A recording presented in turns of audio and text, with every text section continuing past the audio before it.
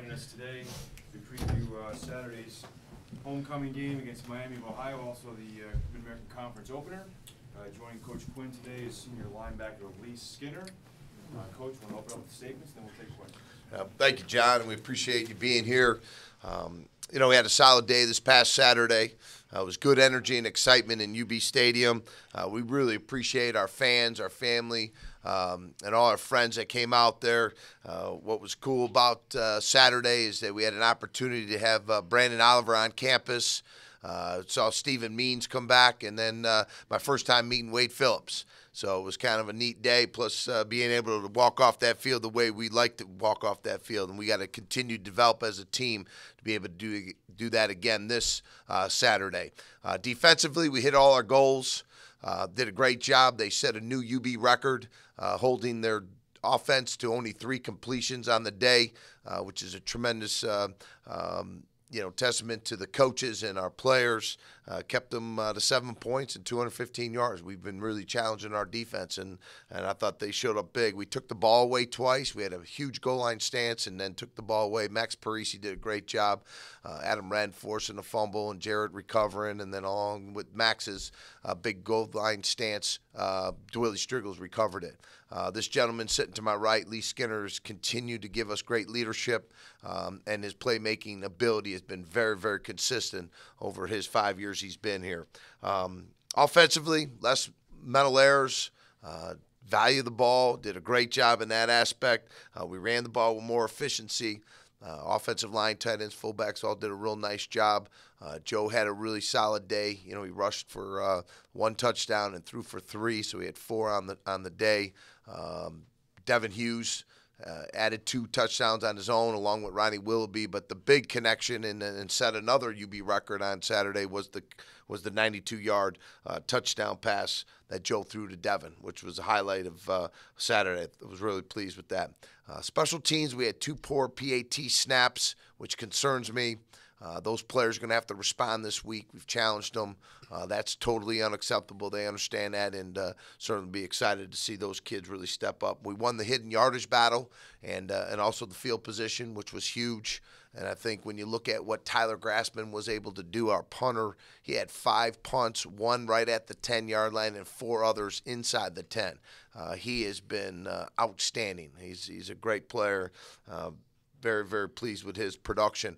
I think the other area that I felt really good about was our punt return unit. You know, we had a nice big 27 yarder that set up a touchdown, and then uh, we were able to take the ball away on another situation where they mishandled the snap. The snap ricocheted off their personal protector, uh, but we were able to. Um, to get that ball, and then that set up a second touchdown for us. Uh, Miami, Ohio, uh, certainly every game brings on a new and exciting challenge. This one will be no different. Uh, they are coached better. Uh, they've gone toe to toe with some quality opponents. Um, and their four previous uh, contests. Uh, this past weekend, we saw them. Uh, watched every play. Uh, what a heck of a ball game they had against Cincinnati, and I've had the pleasure of coaching in that uh, matchup game three years when I was at Cincinnati. So I could certainly tell you. Um, it's going to be a. It's going to take everything we have to earn a victory Saturday homecoming uh, at UB Stadium. Kickoff at 3:30. So we're going to be excited about the opportunity to open up league play at home. Um, and I'm, with that, I'll open up to any questions you may have. Coach, uh, just Chuck Martin, can you talk about your relationship with him? You coached with him together for four years, right? Mhm. Uh, and just, uh, you know, have you two stayed in contact at all? And what do you think about what he brings to the table as a coach? Uh, well, we're friends, and uh, not just competitors. You know, we're going to be competitors too. And then Chuck is as competitive as a as a person that I've met, and I'm very uh, pleased. My youngest, or excuse me, my oldest son used to babysit for him. Uh, back when we were at Grand Valley. So uh, we know their family uh, very, very well. Um, very happy to see his career. We were together at Grand Valley, won a couple national championships together. And then uh, when we went up to Central Michigan, Brian and I, Chuck took over the Grand Valley program at that point as head coach and did an outstanding job. I mean, his, his record speaks uh, for the kind of quality of coach um, and the way he gets his kids to play. And we certainly see that on film. Uh, so this is, you know, we've we've totally disregarded what's happened in the past. You know, we know that they're going to come in and they're going to play well. Uh, I think a lot of their uh, um, a lot of the things that they're doing right now is a testament to him and his coaching staff. So that'll be a great test for us as we open up league play against Miami. Their offense has been really shaky in the past, but the new quarterback, uh, obviously, he's got ability. What do you, you know, just what do you see in his style and what stands out about his play? Right. They're throwing a little bit more than the run of the ball. Um, but uh, Hendrix, their quarterback, uh, had a chance to get to know that young man uh, back when I was coaching at Cincinnati. Uh, he's a competitor. Went to Notre Dame. Had an opportunity to, to go and you know and transfer to Miami of Ohio and get his chance to play. And uh, I think just you know each and every game, each and every rep, you see him getting better. He's more comfortable with the system. Uh, he's got a couple nice receivers uh, to get the ball to, and uh, certainly they're you know they're going to be a handful for our defense, and uh, it's going to be exciting to see us uh, defend them. You know when they're putting the ball in the air, um, and then also when they're putting the ball on the ground. So uh, we know that they're going to be. Uh, you know, going to be well prepared, and we've got to do what we do, and that's play great, fundamentally sound defensive football. Pursue the ball, tackle well, you know, compete when the ball's in the air. That's a big emphasis this week, as it's been every week, um, is to get that ball, uh, you know, take away a couple uh, as they're in the air. But you know, he's very accurate, he's more poised, and uh, it's going to be a great challenge for us to defend him. Coach, uh, any update on Jordan Johnson and Devin Campbell? hmm Uh, Devin will be back. Jordan won't be back this Saturday. Any timetable on Jordan or what the injury was? Uh, right now, it's you know he's not going to be able to play this week. Uh, hopefully, you know he'll progress and we'll get a look at you know each and every single week you know where he's at. I don't think it should last very long, but uh, it's going to take him out of this week for sure. Uh, potentially another week after that, but uh, hopefully it won't be anything beyond that. And we're good to get Devin back now. How close was Devin playing uh, last Saturday, or was it never really? Well, I think they, you know, they made the right choice. Tough decision to keep him out, but uh, you know, it was the right choice. Uh, but you know, he would have loved to gone in there and play. But uh, we'll get him back Saturday, and he'll have to make up for two games in one uh, when we play this Saturday. Thoughts on maybe not having him on kickoff returns because he's coming off the injury, because you need him maybe a little more at running back? Is that go into the process, thought process? Not at all, Paul. Okay. Devin Campbell's going to play as, as much as uh, he's able to give us those those great, uh, con, you know, competitive plays as he's he's shown us. So we're going to put him on kickoff return. We're going to put him on offense. You know, he's on punt return. You know, as a blocker and a mug guy, and a you know, and a blocker in terms of blocking kicks. So we're, we're placing him in some very important uh, positions for us. So we're excited about seeing him getting back on the field. Lee, how much do you look forward to opening MAC play and kind of starting the road to, to one of your big goals, which is a conference championship? Uh, we're really excited. We couldn't be any more excited to start our MAC play with Miami. Um, they're a really great team. They look really good on film. They're much improved from last year. I think they're, you know, they've really changed their identity, and we're really excited about that. They have some key players on offense that we've we've seen on film and be able to identify. And I think they're, we're seeing really good play out of their quarterback and their tight end and one of their receivers, number nine. So we're really excited to see a good matchup. Is there any sense that this is when the real season starts for you guys? Uh, similar opponents now, these are the guys you play every single year. Oh, most definitely. Uh, I think any game is crucially important, but when you open up MAC play, that's when um, that's that's when the championship's on the line, and that's what the focus is, and that's what everybody understands. Lee, you feel like last week's game moved you guys as a defensive unit a little closer to where you guys were for most of the year? I mean, you're pretty confident about about finding your stride as a group? Definitely, definitely. I think that uh, really, really set forth what we're going to do for the rest of the year. I think that it just improved our execution. I think that gave us more confidence and it really gave our defense more of an identity. I think the first couple of games you see us progressing, getting better each game, and third game, fourth game you see us really starting to put things together and really find our identity on defense. Did it, is it, was it a little more of a learning process defensively, replacing the guys that left and the roles that they had, and guys like you kind of stepping into bigger roles and younger guys coming up? Did that take a little longer than maybe you might have even thought it would? Well, I think it's like that every year. Um, every year you have to find your identity. Every year a new team has a different level of confidence, a different level of playmakers. Uh, you know, there's there's different levels on each team, and I think each year is a new team, and this year, it's it's different than last year, yes, but it was it harder? No. I think we have a tighter unit. We have more depth. We have uh, more guys that are ready to make plays, and it's not as much of a everyone's looking towards one guy to make a play. You know, everybody picked up that slack. So I think that's the difference this year. Coach, I know it's a new year, new team, uh, things change, but last year over 300 yards rushing against this team. Um, same mindset, you pound the ball, uh, and then that can open up the pass, or you know, is it just kind of a new, new game? You don't really look at what you did last year.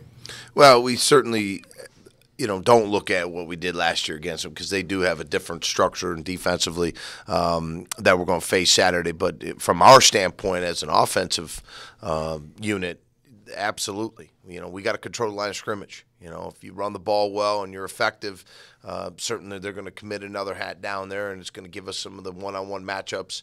Uh, Joe has demonstrated that he can get the ball distributed to a number of different receivers out there, which will give us some opportunities to be explosive. Um, and then, as you know, you know we live in the North Atlantic, so you know it's those conditions are going to start to change a little bit, and you know we've got to be able to run the ball. And if you can stop the run and run the ball, uh, every single game you got a shot at winning.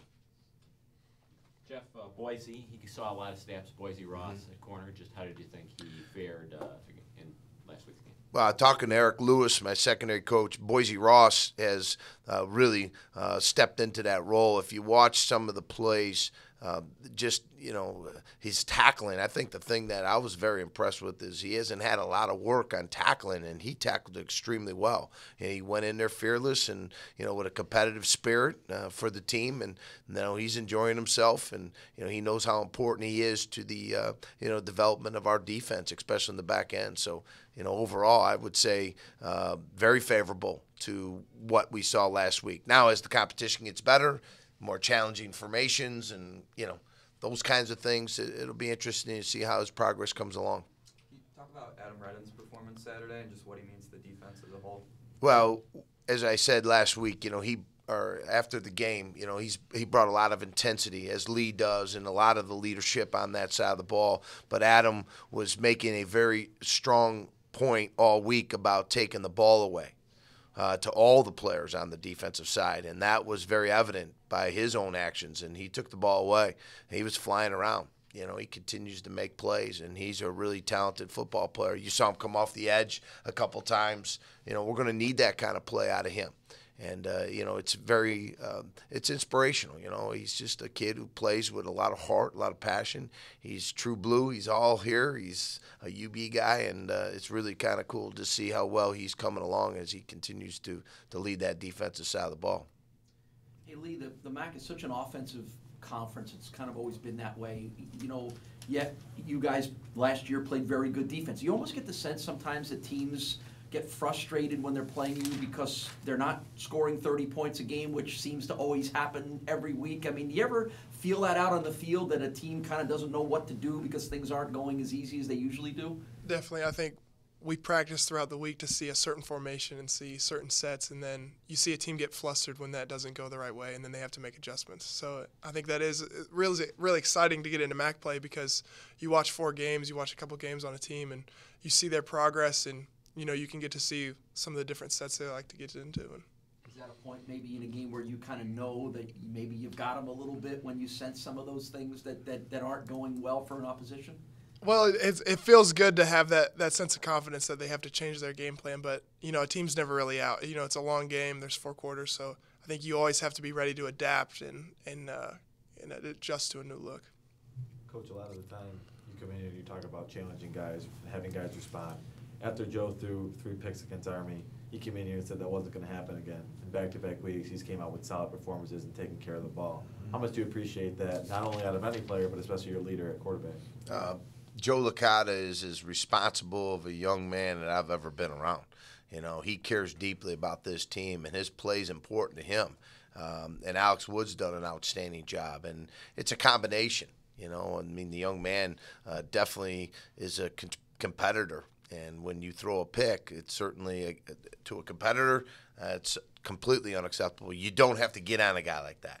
You know, basically, he knows uh, you know what he did and what he needs to do to improve upon that and he takes a lot of pride in that and we're going to need to continue to do that joe's you know one of the top performing quarterbacks right now uh, in the league and, and one of the top in the nation. And you know he's got a lot of guys around him that helps him. So you know it's been good to have the the offensive coordinator Alex Wood coaching the quarterbacks. And so they're together every single day, and I think that's really benefited Joe. But uh, he certainly, um, you know, he knows that, that that's a big part of how you know we're going to move our offense. We can't be turning the doggone ball over, and uh, he's been a big part of the reason why we've had you know a good solid day Saturday, and we're going to need to continue to see him grow. And Lee, you've been with him, you've been here during his time too. How much have you seen him kind of grow, not only on the field, but in the locker room? And obviously, he's the captain and things like that. He's grown a lot. I think um, his his level of play on the field is matched by his his leadership off the field. Joe's a strong presence in the locker room. He's a strong presence on the field, and I think when you see him play well, it's it's just an, a, an example of how well he he leads the team and how well you know guys look up to him and and things of that nature. Jeff, the, uh, Dwelly, you know, had some, had a rough opener, but he actually had two or three good pass breakups against Baylor. Um, do you, where do you feel he is, uh, Dwelly Striggles? Oh yeah, you know, Dwelly's a guy that we we lean very heavily on. You know, and he's certainly somebody out there every single day. You know, working to improve his technique, his fundamentals. You know, his pursuit. Um, you know, being able to play. You know, be a very competitive guy in the right position when the ball's in the air. You know, and that's a, certainly a big part of uh, where that back end is. You know, is whichever way Whitney, Courtney, and Dwelly go as the three seniors on the back end is the way the our back our entire defense goes. You know, and that's important uh, that those guys continue to grow. And Dwelly's going to be somebody that we're going to lean heavily on uh, as teams try to throw the ball on us. So uh, it's Courtney, it's Dwelly, you know, it's Boise Ross. Those are the three corners right now that are going to be out there, and uh, we're gonna we're gonna be excited about seeing each of those guys uh, continue to improve to help us. You know, obviously Miami can sling it around. What have you seen uh, from your edge rush that makes you feel you've got enough edge rush to get the job done in the MAC? Well, as much as it's the edge rush, is is the contain. Uh, this quarterback will take off. Uh, Hendrix will take off and convert on uh, some of those key downs, you know, especially third down. So uh, we need to put pressure on him, you know, with our three man, four man, you know, and, and some of our different uh, pressure packages that'll bring more than that. But, uh, you know, I feel good about Brandon Crawford. I feel good about Sokoli. You know, those guys are going to get some opportunities along with Tedroy Lynch. Uh, opportunity, you know, Jarrett Franklin, Lee. You saw Lee come up big uh, on Saturday. He's going to have some opportunities to do the same thing along with Stockman. So uh, it'll be um, it's it's it's going to be a well devised game plan. Uh, we have to have a great day today, so everybody understands they're a little different uh, because they run some no back with a tight end attached. So their six man protection scheme is with an attached tight end with the five linemen, as opposed to the five linemen with a back in the backfield. Um, so we have that's not as common um, as as you may think, but So they go empty a fair amount. they do. Yeah, there's yeah. The, the, it's not their primary formation, but we're going to see about five or six different formational looks that will defend all things that we've seen. But you know, we, we need to hit home. You know, certainly we've got to be able to put pressure on him with coverage and with you know some of our stunts and, and, and blitzes that we'll have dialed up. Lee, did you get Dayton's only an hour from Miami? Did you get recruited by Miami? No, no, I did not. How about any of them? Mi- Uh, did you visit any of the Ohio schools? Um, no, not particularly. I, I, t- I talked to a number of coaches, but uh, Buffalo was my only offer. So that's really the only school I had serious contact with. Right. The, I mean, you know, I mean, it's only an hour away. Obviously, you've been a starter here on a top-ranked defense. They were 0 12. They made a mistake. I mean, do you, uh, does it still, even though you're a senior, motivate you at all to go back and play these school, uh, school like Miami? You know, I really don't look at it that way. Um, I really look at it more of as just an opportunity from Buffalo, and I'm really fortunate to to be blessed with an opportunity that Buffalo gave me. I think that's more motivating than you know Miami not offering me because you know there's 128 Division One teams, or, so it, I think it's more motivating that I'm so fortunate to be at Buffalo. The best school in the country he came to, so I mean there was no other options out there. Does uh, that ever prompt you to look back a little bit, Lee, in the offseason or whatever, and think that I only had one offer, so you know, and, and I've let, been second on the team in tackles. I've started every game that I've ever been. You've turned it into a very nice career. Uh, do you ever kind of reflect a little bit on what the journey has been for you? Oh, definitely. You definitely do. You definitely look back and uh, you see where you came from. You know where your hometown is, and I think it's just it's fun to look back and see. You know, hey, this is my only offer. I better make the most of it. And I think that's something I'll never forget. Khalil Mack only had one offer too. so- That's right. Hey, Uh, it's there's a bad plenty group. of players that are playing, uh, you know, that were big time players uh, that only had one offer, and that's all it takes. You know, you can have 30, but you can only pick one anyway. So that's a big, uh, it's a big point of what Lee's doing, and, and I always appreciate that. surprised you at all? I mean, you know, in the, in his production and his ability when you saw him wrestling and decided that he can make a good football player here. Well, you know, I'm a, I'm a believer in never underestimate the spirit of a human being, and I saw that spirit when I was watching Lee, and certainly I see it now. Uh, it doesn't surprise me that he's been able to get himself to this point.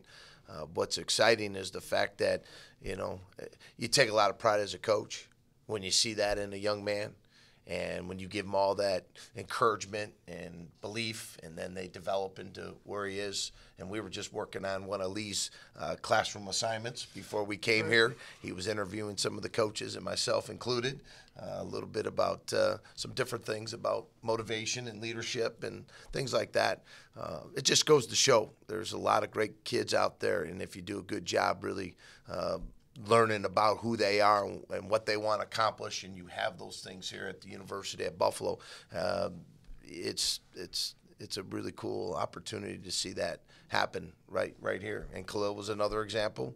You know, Brandon Oliver's another example. Lee Skinner's another example of that. And there's plenty of uh, there's plenty to learn from that. So any kid out there looking and uh, wants a chance to come, uh, we certainly have the right place for them to grow and develop. What was that? That wasn't a journalism interview in class. No, Was it 'cause no. of bad business or? It was a, yeah, it was a for business. It was a piece on employee engagement. Okay. Anything else? All right, Coach and Leader available for one-on-ones. Good job. Yeah, thank you.